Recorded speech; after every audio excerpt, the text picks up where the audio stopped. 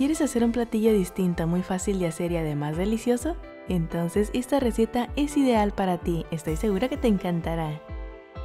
Voy a comenzar por cortar unas hojitas de hierbabuena y un cuarto de cebolla en trozos pequeños. Ahora en un recipiente pondré medio kilo de carne molida de res, la cebolla picada, un cuarto de taza de pan molido, las hojitas de hierbabuena picadas, sal al gusto, pimienta negra molida, ajo en polvo o finamente picado, una pizca de comino en polvo, una pizca de nuez moscada en polvo y por último le agregaré un huevo.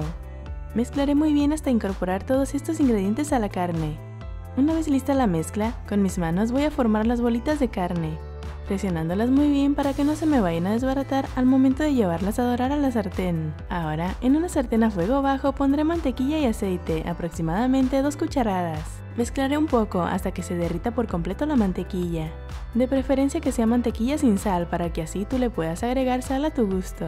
Una vez derretida la mantequilla, agrego las albóndigas, dándoles un par de vueltas para que estén doraditas por todos lados. Hoy quiero enviar un saludo especial a Yoli Solís de México y a Natalie Rocks de Guatemala. Muchas gracias por seguir e interactuar con nuestras recetas, amigas. Mientras las albóndigas se terminan de dorar, aprovecharé para cortar unos 5 champiñones.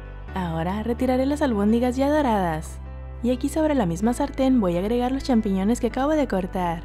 Los sazonaré con sal y pimienta negra molida al gusto. Solo les daré unos 3 minutos de cocción a fuego bajo y los retiraré de la sartén. Después, aquí mismo en la sartén, ya con todo el sabor de las albóndigas y los champiñones, agrego una taza de crema para batir, una taza de caldo de res o pollo, media cucharada de salsa inglesa y una cucharada de mostaza. Con estos ingredientes juntos, mezclo por unos 5 minutos o hasta que comience a soltar el hervor esta mezcla. Ahora, ya que comenzó a hervir, es momento de agregar los champiñones y también las albóndigas doraditas. Las mezclamos para que se bañen completamente con la salsita. Ahora vaciaré una pizca de maicena que ya había disuelto previamente en un poco de agua y mezclaré un poco para que la maicena se distribuya bien por toda la sartén. Dejaré que hierva para que se reduzca por unos 5 minutos, ya que la maicena ayuda a que se espese un poco más la salsa. Tú la puedes dejar reducir por más tiempo hasta el punto que te guste. Solo recordemos que con lo caliente aún se sigue espesando por un rato. Llegó el momento de servir. Yo le pondré un poco de perejil fresco para más sabor. En lugar del perejil puedes poner un poco de cilantro. O simplemente dejarlas así como están. Amigos, estas albóndigas en crema de champiñones quedaron deliciosas. Espero que te gusten tanto como a mí. Prepáralas en casa y regresa a decirme en los comentarios qué te ha parecido. Quiero dar gracias a todas las personas por ver e interactuar con nuestros videos.